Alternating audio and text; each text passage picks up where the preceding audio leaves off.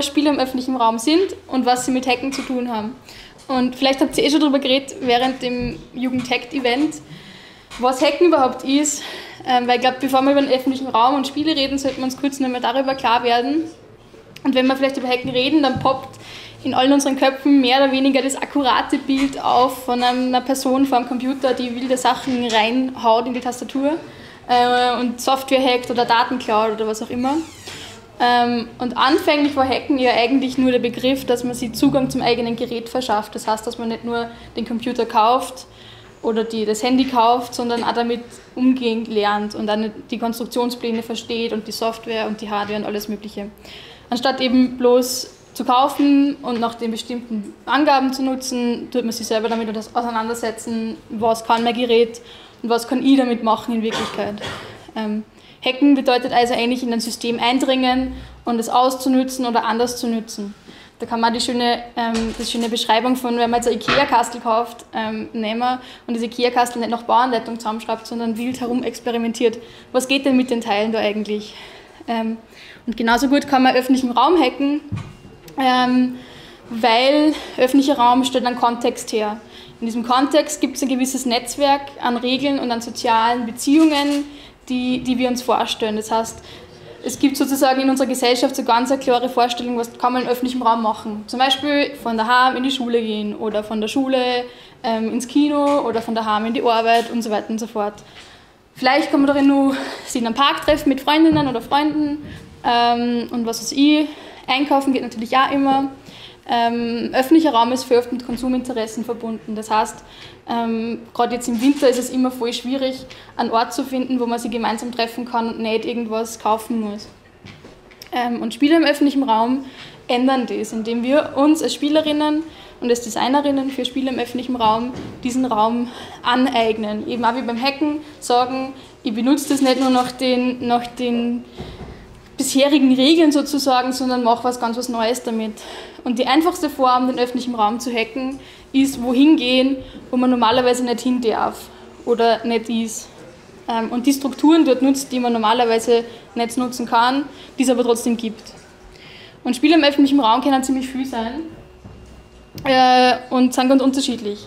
Sie sind sowohl technologischer Natur manchmal oder einfach komplett analog. Sie reichen von sozusagen Urban Games oder Mobile Games wie Pokémon Go oder Ingress, die bekanntesten, zu Pervasive Games, was das sind, werde ich nachher noch mal kurz erläutern, zu Lab Games, also dieses Live-Action Role-Playing Game ähm, und Street Games, die wirklich, also es kann wirklich alles sein, man kann sowohl eben mit PlayStation Move Controllern oder Handys oder Computern was machen, aber auch komplett ohne dem Ganzen auskommen und mit ähm, Karton-Sachen bauen oder mit Pool-Noodles oder ganz, also da kann man seine Fantasie freien Lauf lassen. Und was auch ganz wichtig ist, ist, dass viele Spiele, die designt worden sind für den öffentlichen Raum, ähm, unter Creative Commons laufen. Ähm, und in meinem nächsten Schritt möchte ich darüber reden, warum wir den öffentlichen Raum spielerisch hacken sollten. Ähm, und zwar hat es eine große Anzahl an Gründen, ähm, einer davon ist der magische Kreis, das ist Fach, also kommt aus der Schwachsprache und es bezeichnet im Grunde das, was das Spiel macht.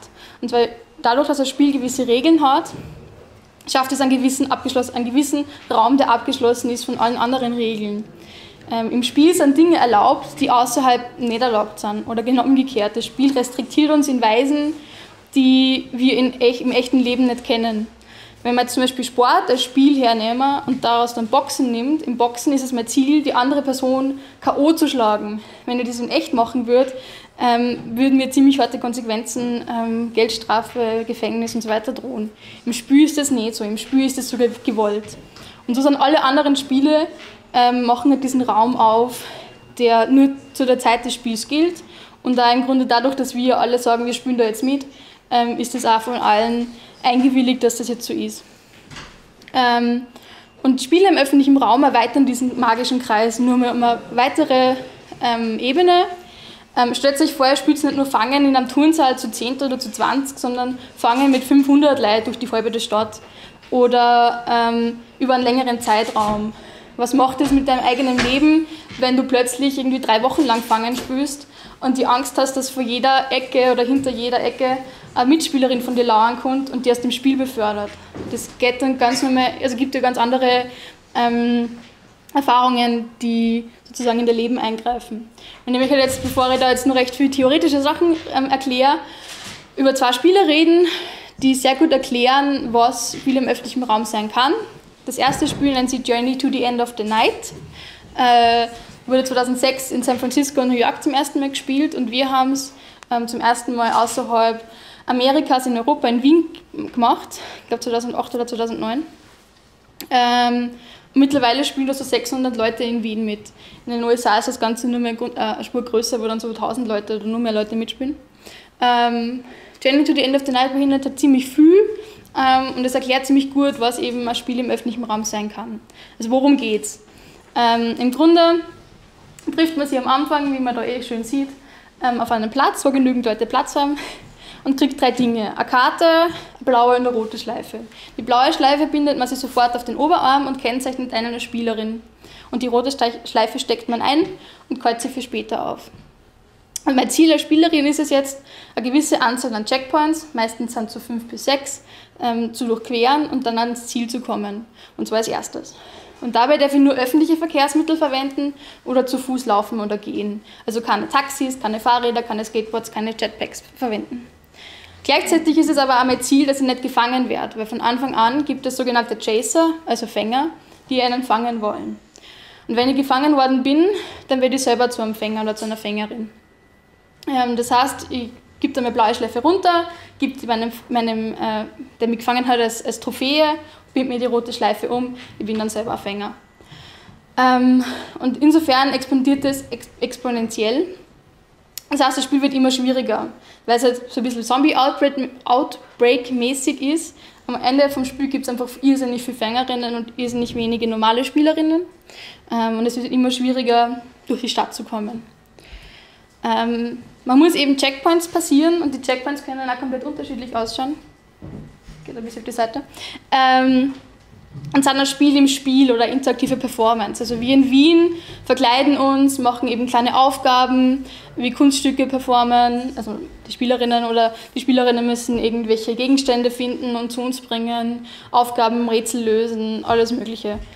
Ähm, und ähm, Journey macht, dass man jede Spielerin eine eigene Erfahrung, ein ganz einzigartiges Erlebnis sammelt.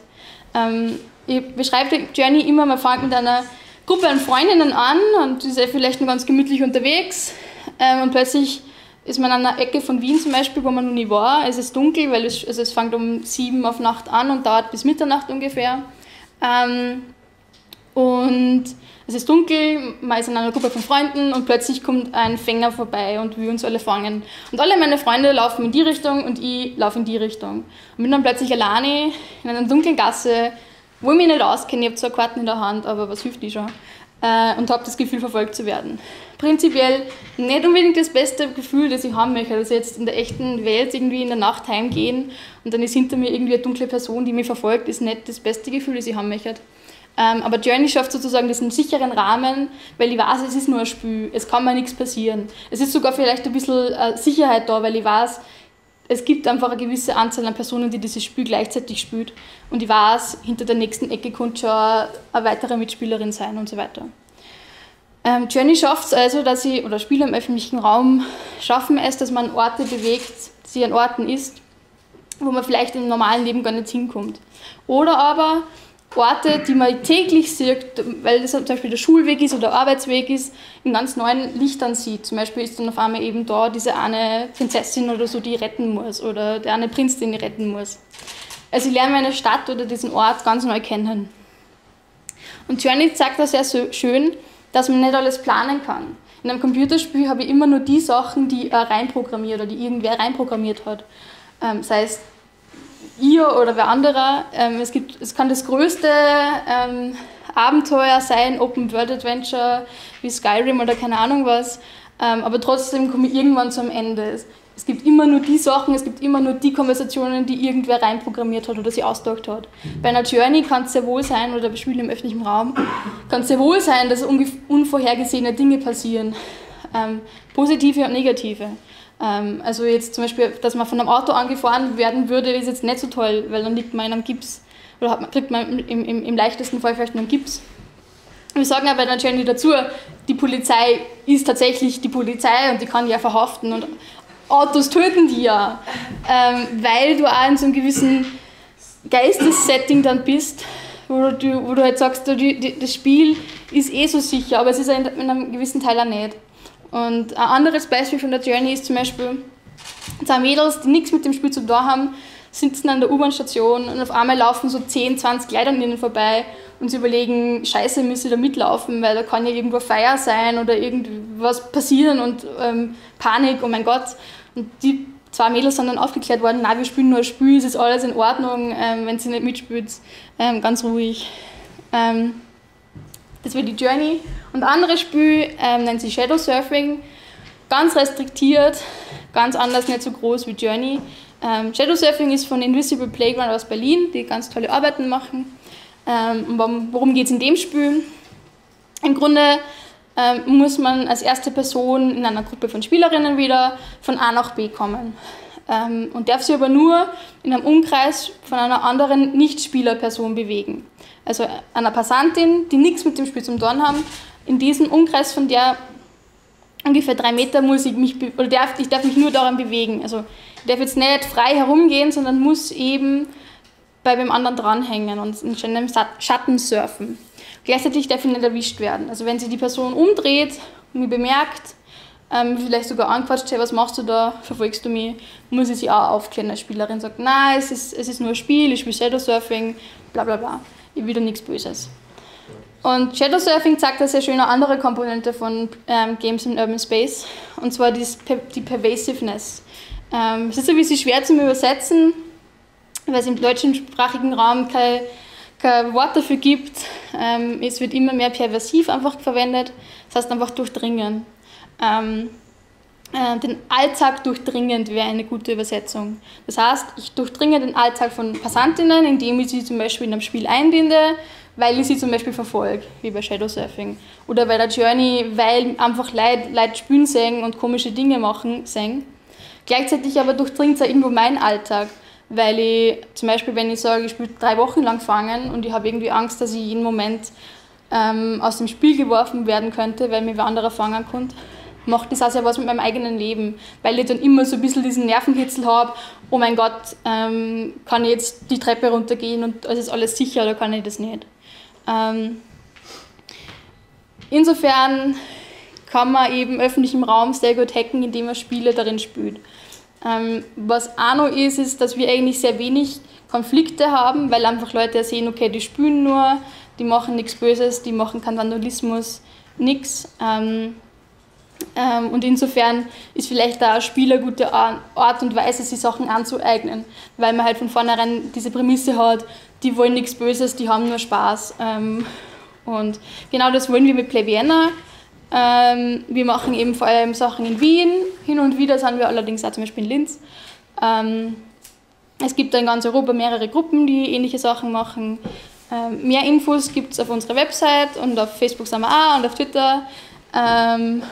Und ich glaube, ihr habt jetzt auch noch ein bisschen Zeit, dass ihr mir Fragen stellen könnt, wenn es denn die, die, diese, dieser Wunsch besteht.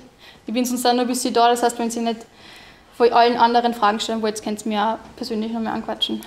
Danke.